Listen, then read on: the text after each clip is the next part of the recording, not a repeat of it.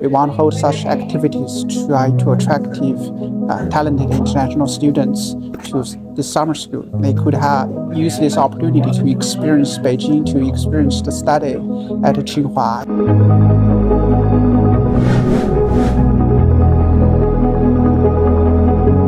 program was a really enriching and unique experience that allowed me to meet people from around the world. The fact that it is so automated, like I didn't see any workers, like almost no workers on the floor. It was just like robots and um, robotic arms and just like AGVs. So that was pretty impressive.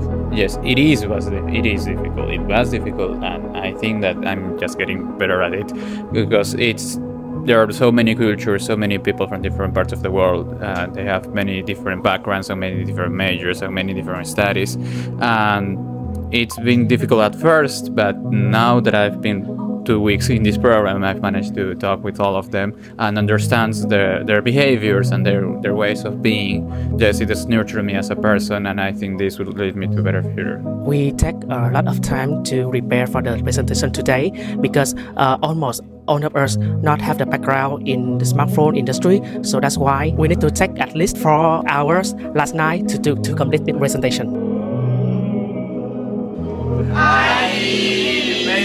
Yeah.